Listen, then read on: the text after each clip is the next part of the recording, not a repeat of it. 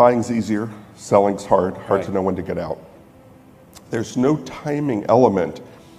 You can never tell how big a bargain you might get offered tomorrow. If somebody comes along and wants to sell you a dollar for 50 cents, you can never know if they'll want to sell to you at 40 cents tomorrow. So you need to buy it and leave a little room to buy more, and maybe someday spend your last dollar and buy the, buy the bargain, and maybe it goes down before it goes up. So you always are checking and rechecking your work.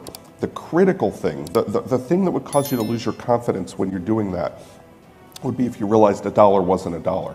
You thought it was worth a dollar, but Greece failed, or the euro fell, or collapsed, and all of a sudden your dollar is only 30 cents, and now what you thought was a bargain is, is overvalued. So that's the dilemma.